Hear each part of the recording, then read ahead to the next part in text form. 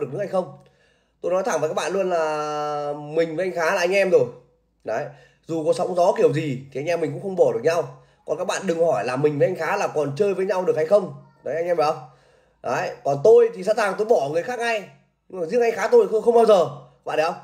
Chẳng qua là mình dỗi mình mình mình dỗi tí thôi. Chứ bảo là bỏ anh khá tôi làm sao tôi bỏ được các bạn? Tôi nói thẳng luôn tất cả những người khác tôi sẵn sàng không phải là anh em của tôi tôi bỏ ngay tôi không thích phong bạt, không thích kể nền, anh em phải không không thích làm màu cho những kẻ khác. Đấy.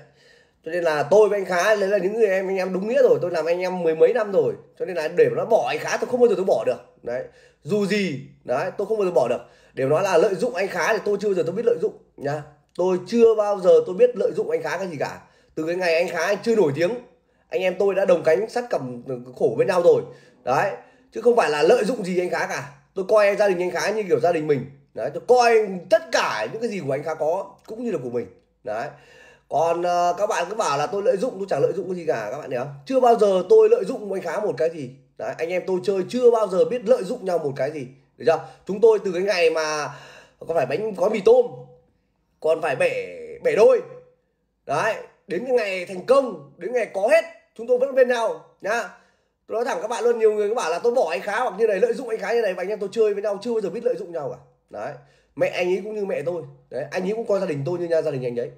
Đấy. Còn anh em mình các bạn đôi lúc các bạn cứ bảo bỏ tôi bỏ anh khá tôi bỏ làm sao được? Rồi đó anh em tôi thì tôi cũng là tôi chẳng qua là vừa rồi về. Nói thẳng với anh em là tôi có dỗi anh ấy thật.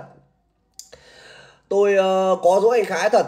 Đấy tại vì tôi cũng anh ấy cũng điện về thôi. Đấy hiểu tôi có dỗi thật chứ tôi cũng có ấy gì đâu mà còn anh em mà tôi mà bỏ nhau khó lắm anh em ơi. Khó nhau khó lắm. Nếu bỏ nhau bỏ nhau từ cái ngày đầu tiên chứ chẳng phải đến lúc nổi rồi mới bỏ.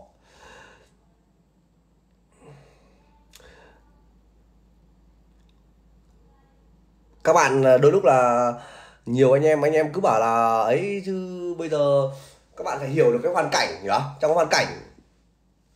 Rồi không, không, không chuyện này nữa nha anh em đi